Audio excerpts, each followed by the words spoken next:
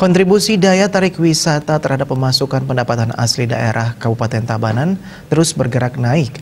Itu tercemin dari data dikantongi Badan Keuangan Daerah Tabanan bahwa realisasi pendapatan dari 3 DTW sudah mencapai 1 miliar 137 juta 497.047,77 rupiah pada periode Januari-Mei tahun 2022.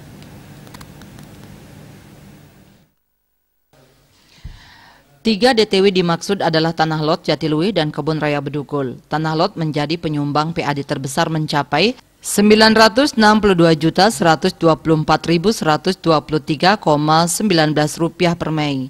Selanjutnya DTW Jatilui menyumbang 115.157.176 rupiah pada bulan yang sama. Sementara Kebun Raya Bedugul memberikan kontribusi 60.215.750 rupiah per April.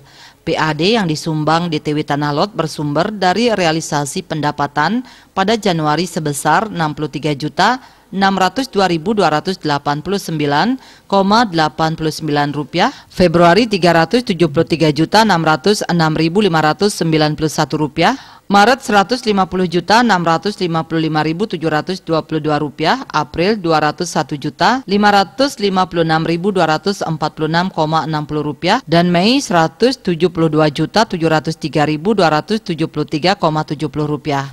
DTW Jatiluwe menyumbang PAD sebesar 115 juta 157.176 rupiah. Rinciannya pada Januari menyetor 20 juta 143.743 rupiah Februari 25.936.822 rupiah, Maret 17.11.573 rupiah, April 17.363.812 rupiah, dan Mei 34.701.225 rupiah. Bisnis Bali melaporkan.